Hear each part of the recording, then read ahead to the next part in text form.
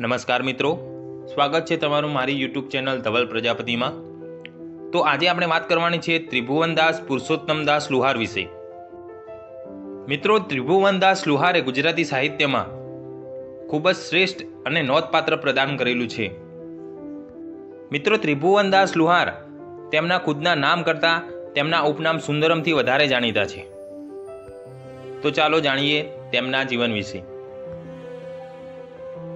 તો મિત્રો, સુંદરમનો જન્મ બાવીસ માર્ચ ઓગણીસો આઠના રોજ ભરૂચ જિલ્લામાં ગુજરાતમાં થયું.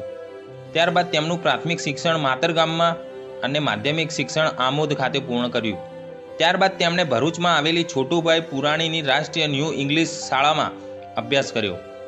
મિત્રો, ઓગણીસો ઓગણત્રીસમાં તેમણે ગુજરાત વિદ્યાપીઠ ખાતેથી સ્નાતકની પદવી મેળવી અને સોનગઢમાં આવેલા ગુરુકુળમાં અધ્યયન કાર્ય પણ કર્યું.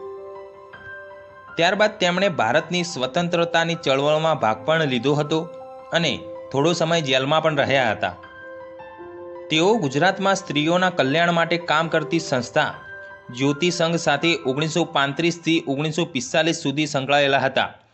ઓગણીસો પિસ્તાલીસમાં શ્રી અરવિંદના સંપર્કમાં આવ્યા અને પોંડિચેરી ખાતે સ્થાયી થયા. અને અંતે તેમનું અવસાન તેર જાન્યુઆરી ઓગણીસો એકાણુંના રોજ થયું. હવે તેમના સાહિત્ય સર્જનમાં વાત કરીએ તો, તેમણે ઈસવીસન ઓગણીસો છવ્વીસમાં મિરીચી ઉપનામથી કવિતા લખવાની શરૂઆત કરી. ત્યારબાદ તેમણે વિશ્વકર્મા ઉપનામ અપનાવ્યું. તેમણે તેમની કવિતા બારડોલિન ઓગણીસો અઠ્યાવીસમાં સુંદરમ ઉપનામ હેઠળ લખી અને પછી તે જીવનભર અપનાવ્યું. કોયા ભગતની કડવી વાણી અને ગરીબોના ગીતો જે ઓગણીસો તેત્રીસમાં પ્રગટ થયો, તે તેમનો પ્રથમ કાવ્ય સંગ્રહ હતો.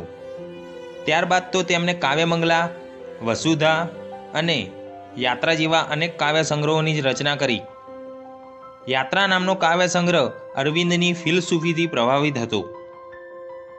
સુંદરમે પોતાનો ટૂંકી વાર્તાનો સંગ્રહ ત્રિશૂળ ઉપનામ હેઠળ પ્રગટ કર્યો હતો. હીરાકણી અને બીજી વાતો, પિયાસી, ઉન્નયન, તરીણી, પાવકના પંથે વગેરે જેવા તેમના અન્ય વાર્તા સંગ્રહો છે. વિવેચન ક્ષેત્રે જોઈએ તો અર્વાચીન કવિતા ઓગણીસો છેતાલીસ.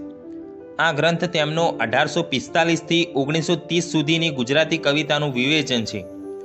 અવલોકન તેમના વિવેચનનું અન્ય પુસ્તક છે. જ્યારે સાહિત્ય ચિંતન સાહિત્યના વિવેચનના સિદ્ધાંતોના લેખોનો સંગ્રહ છે. તેમના અન્ય સાહિત્ય સર્જનમાં જોઈએ તો વાસંતી પૂર્ણિમા, જે તેમનો એકાંકી નાટકનો સંગ્રહ છે, દક્ષિણાયન જે તેમના દક્ષિણ ભારતના પ્રવાસનું વર્ણન છે. ચિદમ્બરા તેમની યાદોનો નિબંધ સંગ્રહ છે. જ્યારે સમરચના તેમના જીવન વિશેના લેખોનો સંગ્રહ છે. તેમણે સા વિદ્યા નિબંધ સંગ્રહ પણ લખ્યો છે. શ્રી અરવિંદ મહાયોગી શ્રી અરવિંદનું ટૂંકું જીવન વૃત્તાંત છે. તેમણે અનેક સંસ્કૃત, હિન્દી અને અંગ્રેજી સાહિત્ય સર્જનોનો ગુજરાતીમાં અનુવાદ પણ કર્યો છે.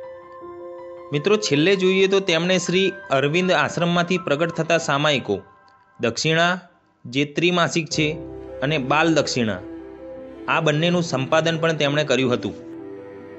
મિત્રો, આ વીડિયો માટે આટલું જ. હવે ફરીથી મળીશું કંઈક નવા જ વીડિયો અને નવા જ સર્જક સાથે. Thank you